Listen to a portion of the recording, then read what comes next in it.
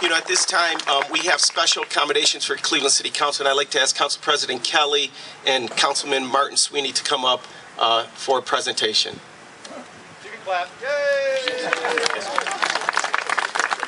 So we're going to have to be ultra brief because I've already went over my allotment of time. Councilman Sweeney. Thank you very much, Matthew. I love your bright pants. It always brightens up the day.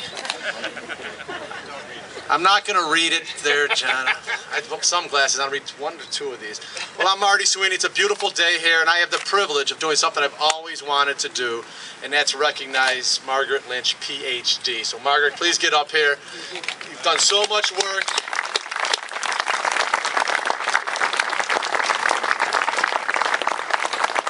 Very simply, by Council Member Matt Zone, sponsored by every council member and voted on unanimously, which does not happen too often in Cleveland City Council.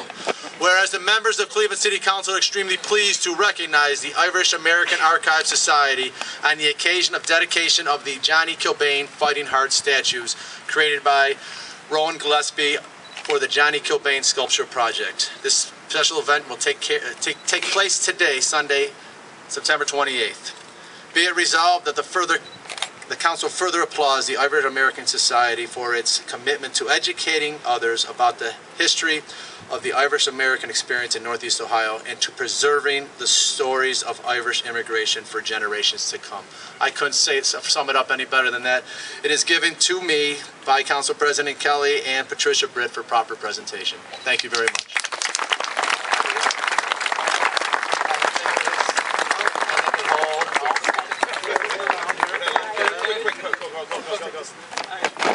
right there.